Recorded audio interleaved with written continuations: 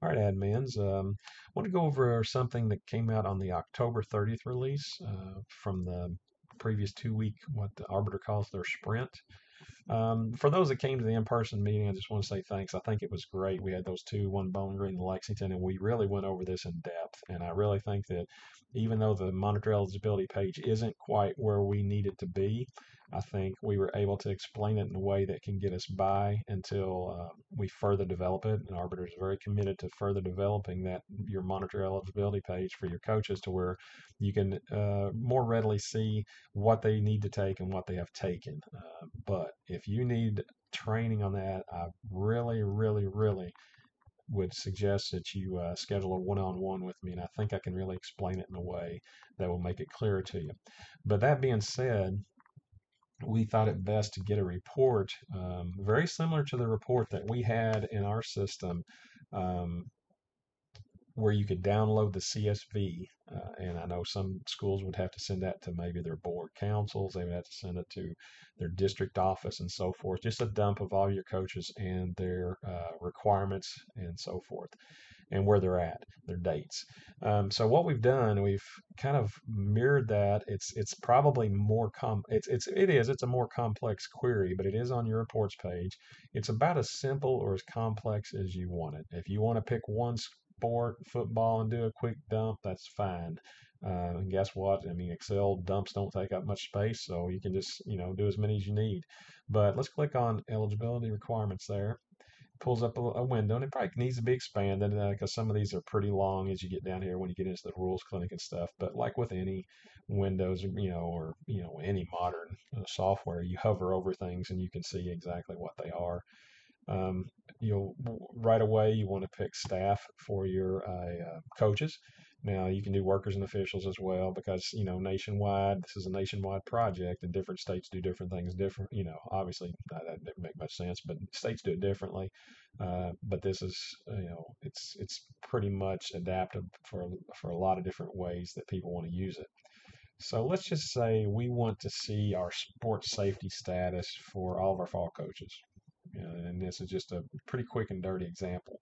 So I'm going to pick uh, over here, cross country. Now, this thing, you, you can pick the one-offs like this, but you can hit Control A, you know, to select all. You can hit, you can click on archery and hold down Shift and go down to wrestling and click on wrestling to select, or you can hit Control as you're clicking to select multiple sports, which is what I'm going to do. So I'm going to pick my fall coaches. I'm going to do cross country. I'm going to do football. Golf's right here. Going to do soccer, and then I'm going to do volleyball. But if, for instance, if you just want to see your football staffs, just pick football. Maybe we should use that as an example, but let's just show all of them. Background checks, again, this is for uh, officials as well. Custom requirements in, in Kentucky right now, and, and Ashley and I need to clean this list up as uh, over the course of the last oh, five, six months, we toyed around with doing the custom requirements differently.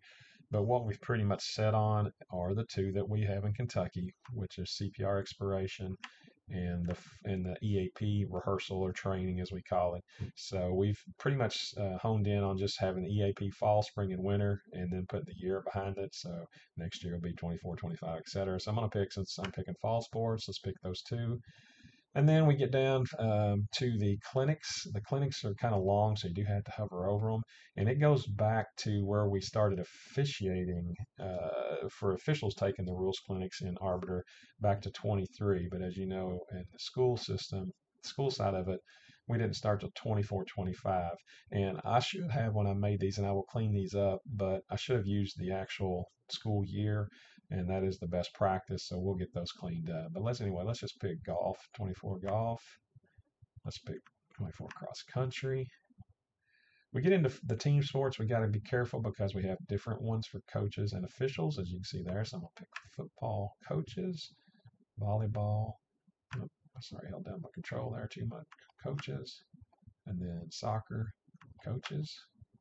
And then if you remember on sports safety, we have the 20 there's two columns on that monitor eligibility. The 2324 means that's going to say that's going to show you a green check if they've taken it in the past and they've not hit their expiration date. And we are going to start sending out the email reminders about that uh, for the ones that are going to be expiring in the upcoming month or months. We'll start sending out email reminders as well. So we would want to check Sports Safety 2324 and then the eight modules uh, for the 24-25 course. So one, two, three, four, five, six, seven, eight. And then what I like, and this is officiating information right here, so no need to select anything there. What I like about this too is like any NFHS Learn courses that anybody at the school has taken, they should be listed there. And so, uh, you know, if I was doing my winter coaches, I could pick coaching diving, and I could pick uh, for your diving coaches and understanding copyright compliance and fundamentals of coaching for your winter coaches. Spring coaches, your track, I could pick coaching pole vault. Say if you just wanted to see how many of your um, competitive cheer, and maybe if you even load sideline cheer in, and you and you make them take the understanding copyright compliance uh, course, you could pick sideline cheer, competitive cheer, vice versa, or whatever you want to do. You can hit the understanding copyright compliance and just get a quick dump of those that have that have or have not taken that course. But since this is the fall and uh, we don't have any of those other sports, we're just going to do the course that everybody has to take, the fundamentals. Let's export that to Excel. You can see I've been playing around with it quite a bit this morning. It's my fifth one and it's going to open in Excel. And you, if you're an Excel guru, you can just do what you need here. You can, uh, you know, make it a lot smaller if you want to. You can change the font however you need to. I'm not sure what the default is, but it uh, looks a little funny to me. But what I'm going to do is just copy and paste this into a Google Sheet. And now, if, if you need to just send that, you can email that to whoever you need to. And I'm going to copy this. I've already created just a blank one. And I'm going to go here and just paste that in because we work in Google Sheets a lot. You see, I just called it Fall Coaches, whatever. Maybe you put the date on there if you need to send it to somebody. I do think right away it needs to have the sport column um, because if you're dumping multiple sports, and it looks like I'm added as Scott High School, I'm going to delete, myself out of there. Let's see if uh, anybody else that shouldn't be on there. No, that looks pretty good. I think I had myself added as a Scott uh, high school coach. Um, so there's a couple different ways you could do this. You can see your CPR expirations. Obviously, if you see anything before today, you know that's a problem, uh, especially with fall sports since they're in the postseason now. EAP rehearsal uh, looks pretty good there. Um, and this and this again, this can flag you. Well, more than likely, I'm sure Mr. Fro, Coach Fromeyer t- has done it, but he just uh, you know hasn't. Uh, it, it, maybe just hasn't been put in yet. Um, golf coaches, you can see the ones that have taken the rules clinic when they've taken it. There's my cross country there. Um, football rules clinic there. Date and time volleyball rules clinic, soccer rules clinic. I know in our system it was combined into one, and it's basically just said if it was done or not. Uh, but it's a little bit more complex here. Uh, so this is the column of 2324, and this is the completion date. So, I mean, if you wanted to, you could you could add a column of expiration. If I mean, it's pretty simple. You just add two years to that. But at a glance, you can tell um, all of these would be expiring in 25, right? Or 26, 25, 26. You add two years to any of these. Now, if you see some 22s in here, you got to start worrying. But um, we've got one here. See, that's 25, 25, 26, 25, 20. So all these are pretty good on sports safety in the, uh, for the past uh, that that haven't had the need to take it yet. So they won't get notification that they even need to take it. Like for this one, they're actually good through oh gosh, summer of you know pretty much the summer of 25. So they would get the notice, uh, you know, next year. And then you can see the ones that have taken it this year and what dates they've actually taken it. You see this coach here, and you can freeze these panes if you wanted to. Brian Simmons. Uh, looks like he started taking the. Um, sorry, I got too far ahead of myself. Even though he was good through September 25, he did just start taking the new module. You know, that's it's probably just a mistake, but uh, he did start module one. And then you can see here you had a, probably a new coach or one that was expired because they didn't have the 2324 column. And then you can see their completion dates for all eight modules.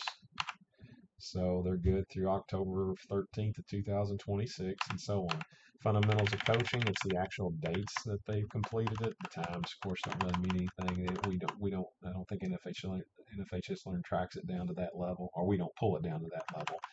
So I show you the ones that are maybe missing, and, and we know it was the same thing in our system that it was an arbiter is sometimes they don't use the same email, so that doesn't necessarily mean, or that maybe this is an older coach that took it under the old HACCP, human kinetics, you know, so forth. Um, and then you can also like hide these if, you know, uh, I just want to see the fundamentals of coaching, you know, we can hide these columns and so forth. Um, again, it's, it's, it's, it's, it's not perfect again, but I think it will give us something that we can use you know, and I know a lot of people are probably Excel gurus, but if you really wanted to, you know, go here and, you know, insert a column and put an expiration, you can.